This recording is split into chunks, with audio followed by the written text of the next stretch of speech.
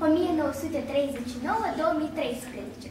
Poetul, prozatorul și dramaturgul Dumitru Matkovski s-a născut la 20 octombrie 1939 în comuna Vadul Rașcov, Șoldănești, în familia țăranilor Leonte și Odochia Matkovski.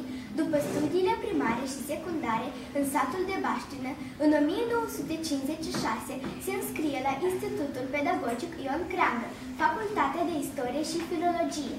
În 1961 absolvește Universitatea de Stat din Moldova.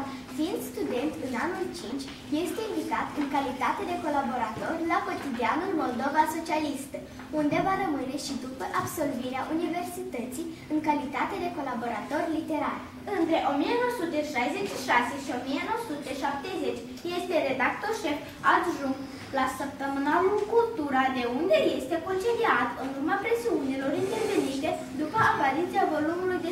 19, în alb și negru, distrus îndată după editare, în anul 1987 este numit redactor șef al revistei Nistru. Din 1990 se va numi Basarabia.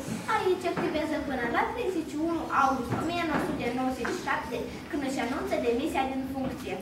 Baștina, ram de pomul, floare, strugure de soare,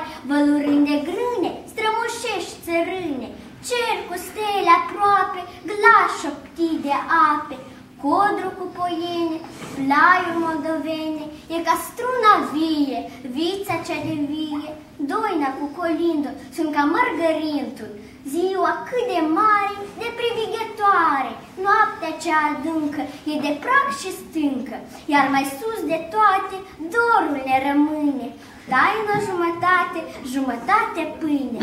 Mă îmbată dulce floarea liliecilor, în țara mea oricând e luna mai, să tot trăiești, acum și în vecii vecilor, pe acest pământ coborător din